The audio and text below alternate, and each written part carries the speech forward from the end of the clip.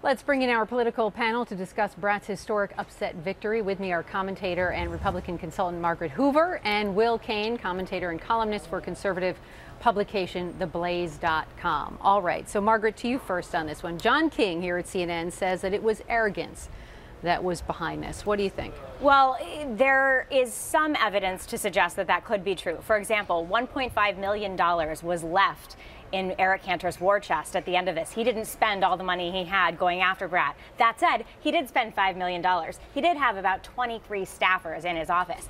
It's not, it's not that he didn't take it seriously, but there is a real question of whether he took the threat seriously enough. And Will, a lot of people, you know, are, are, shaking their head. How did they not see this coming? Because right. some people on the ground have said that there was this attitude of uh, ABC, anyone but Cantor, but that right. Cantor himself and his team did not pick up on that. Yeah, you know, I mean, there is certainly a sentiment across this nation that is throw the bums out. Incumbency is its own weight. And it, it came to be seen that Eric Cantor was serving a constituency in Washington, D.C., not in Virginia. And that's why you hear slogans like ABC. I have to say, Randi, so we hear Hillary Clinton saying that this was about immigration and that Dave Brat was essentially, what, opposed to any form of immigration. I don't. That is what I'm sure Hillary wants it to be about, mm-hmm. that issue. She thinks she wins on.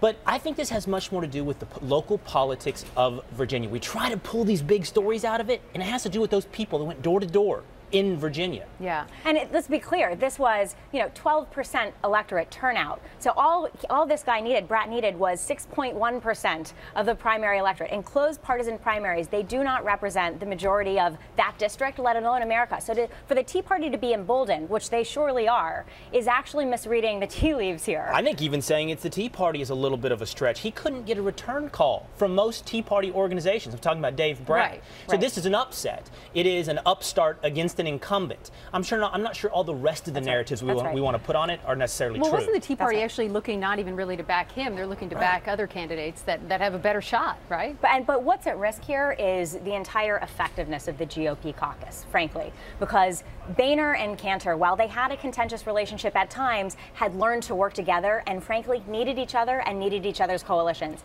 Now that Cantor's been knocked out and has removed himself from leadership, mm-hmm. there is a very strong chance that you're going to get somebody else in that number two position who frankly doesn't have the backing of the Tea Party caucus, or who frankly does have the Tea Party backing of the Tea Party caucus, and then the ability to actually get anything done. Forget well, immigration. This is where reform. Margaret and I have to have to part ways here. I am not that is this much the only a, place, really? Come no, on. Well, no, we have others, I'm sure, but um, where I'm not that much of a believer in let's get professional governors in, professional politicians, guys who know what they're doing, who are experienced. There's no doubt Eric Cantor was a good politician as far as working the back rooms, but I believe in the you know new blood is good blood. Um, as, as, as a default mechanism, new is good. So who do you think turnover? It's not, who, who yeah. do you think it hurts and who do you think it helps? Uh, this hurts John Boehner this hurts. Uh, look, it depends who runs. Jeff Sessions is it looks going to run for majority leader. Kevin McCarthy's going to run for majority leader. Cathy McMorris Rodgers is probably going to run for Why would it hurt majority John leader. Uh, hurts John Boehner if if he doesn't get somebody who he can partner with that can sort of help corral the Tea Party caucus and help corral his entire he really, caucus. I mean, he really depended on Cantor to, for access, right? Absolutely had a symbiotic relationship that made the effectiveness of the GOP House to the extent that it was effective. It was because of that relationship, which is now totally mm-hmm. gone. Let me offer you one person that it hurts, hurts, and this is the most important thing to take from this race. Margaret mentioned it. Eric Cantor spent $5 million.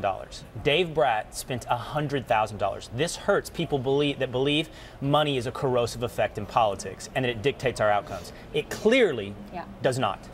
So Cantor was always like, you know, the, the no guy, as they say in the in the Obama discussions. I mean, who, who's going to be who's going to be that person?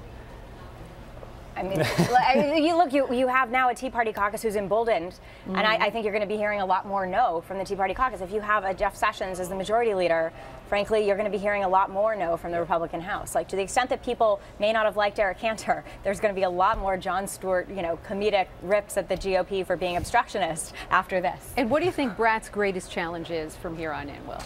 Well, his greatest challenge, and I think I'm, I think he'll live up to it, is to represent his own constituents. And if you listen to anything right. Dave Brat said, that's what the message he rammed home over and over. I am here to respond to the constituents in this district in Virginia, and I will be accountable to them. I think that's what you, every one of these guys, that's what their job mm-hmm. is to do.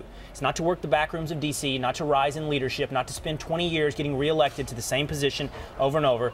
It's to spend a short time representing your people well. And so, what happens to immigration now?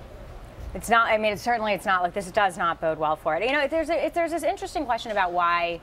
Uh, why Cantor has decided to step down. I mean, there's sort of the altruist outside of Washington wonders whether he might not be liberated, not having to serve the GOP caucus anymore, mm-hmm. and just forget the lame duck. Why not just try to get immigration reform through? Uh, do just, the right, right, thing because you're not held accountable. I mean, you, you, have already paid the ultimate price. You've lost right. your seat. So just, just go for the good policy now. Right. Go for the good governance. We'll not do it comprehensively. Just don't do it comprehensively. You can get immigration reform through. Will, Margaret, nice to see you guys. Thank Thanks, you. Randi.